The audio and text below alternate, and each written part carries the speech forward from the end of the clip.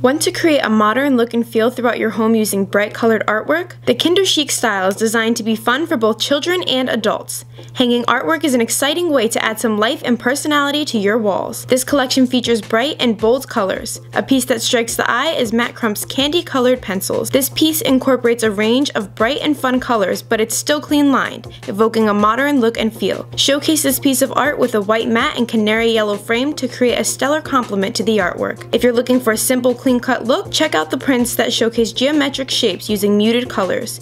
Pairing this piece with the white mat and green frame gives it a pop against the wall. Remember, the essence of Kinder Chic lies within its bright and bold color scheme. Be sure to use complementary colors when pairing your artwork with frames. For more decorating ideas, visit framedart.com. Happy decorating!